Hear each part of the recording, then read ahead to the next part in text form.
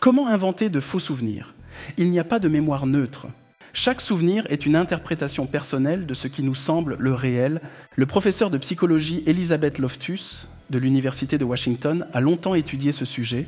Tout d'abord, en 1990, elle a procédé à des expériences sur des adultes en leur racontant qu'elle savait que lorsqu'ils avaient 5 ans, ils s'étaient perdus dans un centre commercial.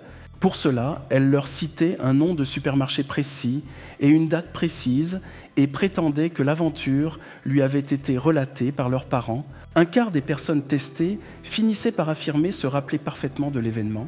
Et parmi eux, la moitié rajoutait des détails pour confirmer ce récit, pourtant totalement fictif. Dans les années 2000, le professeur Elisabeth Loftus a inventé une expérience plus complexe. Elle a réuni quatre groupes de personnes à qui elle proposait d'évaluer un film publicitaire après un voyage à Disneyland.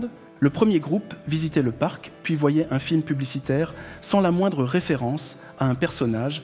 Le deuxième groupe visitait le parc, mais on disposait, durant le film publicitaire, une figurine de 1,20 m représentant Bugs Bunny dans la salle de projection.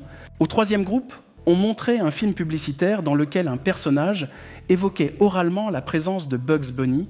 Et au quatrième groupe, on montrait la figurine de 1,20 m de Bugs Bunny et on ajoutait la référence à Bugs Bunny dans le film publicitaire. Lorsqu'on a interrogé par la suite la totalité des participants, 40% ont affirmé avoir rencontré le personnage de Bugs Bunny lors de leur visite de Disneyland. Or, évidemment, le personnage de Bugs Bunny ne pouvait être rencontré à Disneyland, puisque cette figure emblématique appartient au studio de dessin animé concurrent qui est la Warner Bros.